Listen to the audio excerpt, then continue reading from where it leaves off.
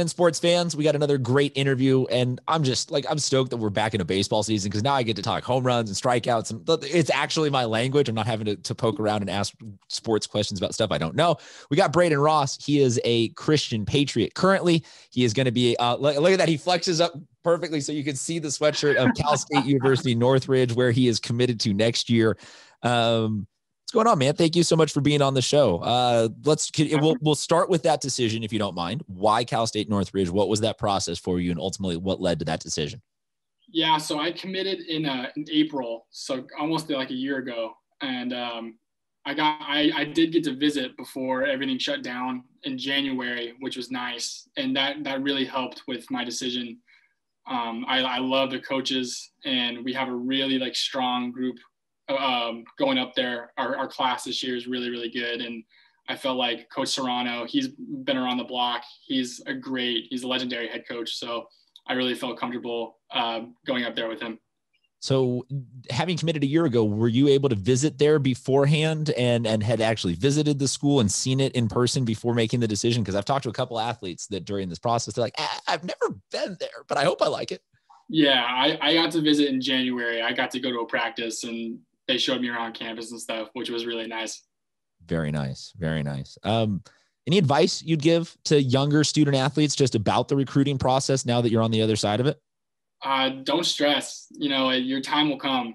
Uh, I'm a long for a long time. I was like, man, I, some of my friends are getting looks on my travel team and stuff, and you know, it's, it's stressful. It, it can be really stressful, and you know, you just gotta trust trust in your abilities, and you know, time your time will come at the high school level, uh, everybody does a little bit of everything. You've probably pitched, caught, played first, third, left, right. You probably uh, were a third base coach for some sort of spring training type game. Um, what are you hoping to do though in college? Uh, in college, I hope to be, I, am for now a primary outfielder, and hopefully I get to pitch a little bit. But uh, they, they said I might profile more as a first baseman down the road, which you know we'll see. A- anything I'll do as a lefty hitter, um, yeah, outfield and first base is the very, very generic, typical. Oh, good. Wow. Yeah. Surprising. This is where I wound up. Uh, I, I do, I want to ask this delicately, but it, I'm glad that you embrace that in college, you will be more potentially of an offensive minded person than a pitcher. Um, yeah. Coach Mitchell, uh, who I am a big fan of out at Christian, uh, he and I have discussed off and on the last couple of years how you guys as a team have had some seasons where uh, you have perhaps to put it politely, given up entirely on the concept of pitching and just been an offense team where you're going to show up.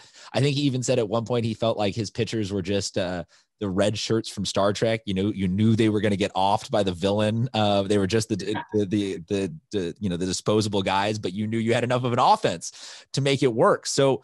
I mean, that's not an environment that a lot of people get to be around at the high school level. So, what has it been like for your time at Christian to just be with a lot of dudes that can constantly rake all the time?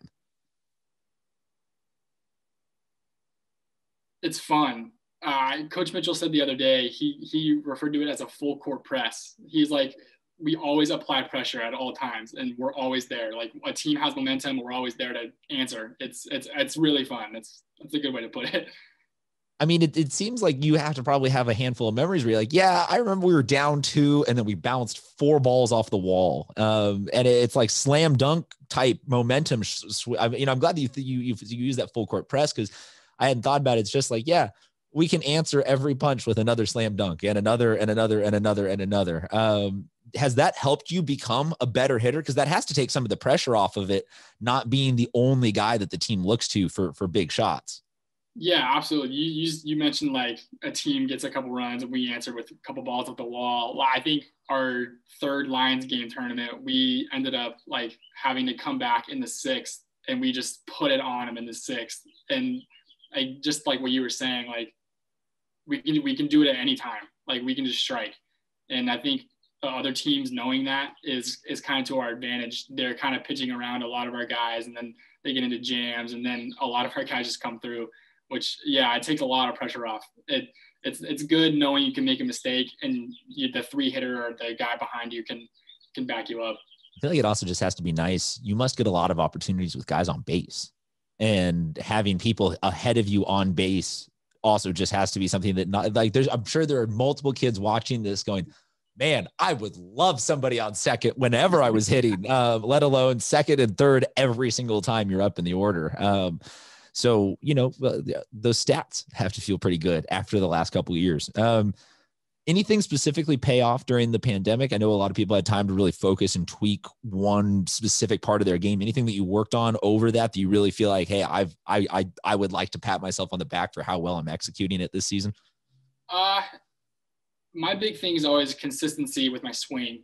So uh, over quarantine, I had a lot of downtime, like cage time and like tee time, and because we had no games. So I got a, I got a lot of time to focus on myself and my swing, whereas having to tweak it in game adjustments and stuff, which I think is helping this season for sure. You are a Chiefs fan. Why that? Huge. Why? I, w- I was actually born in Kansas City. Yeah, I lived in Kansas City for seven years. So you're not you're not onto the bandwagon late. All right, fair enough. No, yeah, you're completely validated. Um, so also Royals then? Uh, actually, Cardinals. My mom is from St. Louis. I feel like that's acceptable as long as it wasn't Cubs Cardinals. I don't know of any major rivalry existing between the Royals and the Cardinals. Uh, the Cardinals, I think, also, yeah.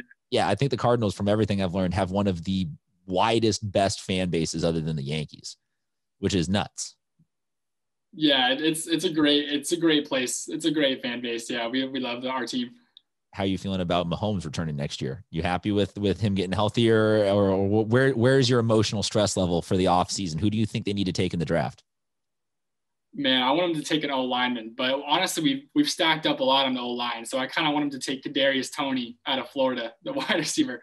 So yeah, another Mahomes, weapon for Mahomes. Yes, oh, he's struggling. Mahomes is struggling so hard to have have uh, anywhere to throw it. Um, notice how again the Christian kid doesn't say anything about playing defense. He says, "No, no, no, no, no, more offense, more points." That's all. That's all you've become accustomed to uh, after the last four years. Uh, man, uh, just I, I, like to always kind of give the kids at the end uh, of interviews, and thank you again for some of your time. We really appreciate you joining the show. Um, what are some things, singular thing, any good stories, just something that you're going to miss about your time at, at in high school? Oh man, that's that's a tough one. I know it's a loaded question, but it, it, it it's just something that you know. I some of these you put them in a time capsule, and and it's just good to give the floor. So whatever, however open endedly you would like to answer that question, uh, let us know. Yeah. Um, I mean, all my friends know, like everyone around the school kind of knows, like it's kind of like a running joke. I'm like the hype man of the school. So I'm like in the front of the student section. I'm not, I'm at everything. So I think like more thing like the camaraderie within sports I think is what I'm gonna miss the most. like playing with my friends and being there for all my friends that play football and basketball or whatnot. That's that's always been my favorite thing to look forward to during the week when I'm not playing. So I guess like the sports aspects of things is I'm gonna miss a lot. So will we see you uh, leading the, the charge at Cal State Northridge basketball games? Like, are you are you face painted? Uh, wearing a, a, a Torero. Are there Toreros? Is that the Matadors, Matador? Matadors. Are you wearing a Matador costume? Is that like your level of the hype man? Is that you in college? Up there as they're making their tournament run in March, and you're the you're the guy with the Matador costume. Like like how intense are we really talking here?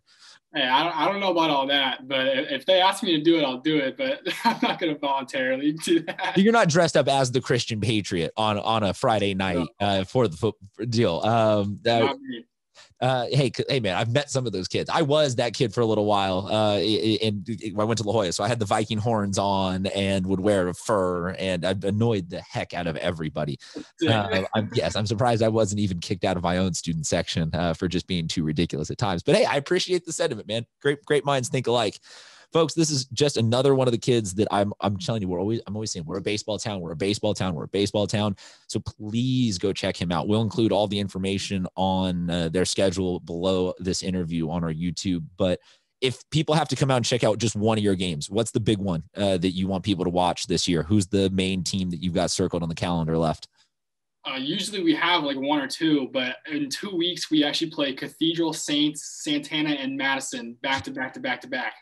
So any one of those four, you gotta come. Those are gonna be battles. I guarantee you there's like nine kids per game there that are going to be either drafted or looked at by college and pro scouts in the next uh, couple of weeks. That's an insane. You're going to run run the gauntlet there. Um, I, we will send our prayers and well wishes for, uh, for we'll you, you, guys and for opposing pitching and just for everybody coming out of that one safe. Uh, for people in the foul section, for getting balls hit because there's yeah. there's going to probably be some very deep line drives. Braeden, thank you so much for being on with us. We really appreciate it. Congratulations on your commitment to Cal State Northridge and uh, for representing the San Diego CIF section so very well. We'll talk to you soon, sports fans.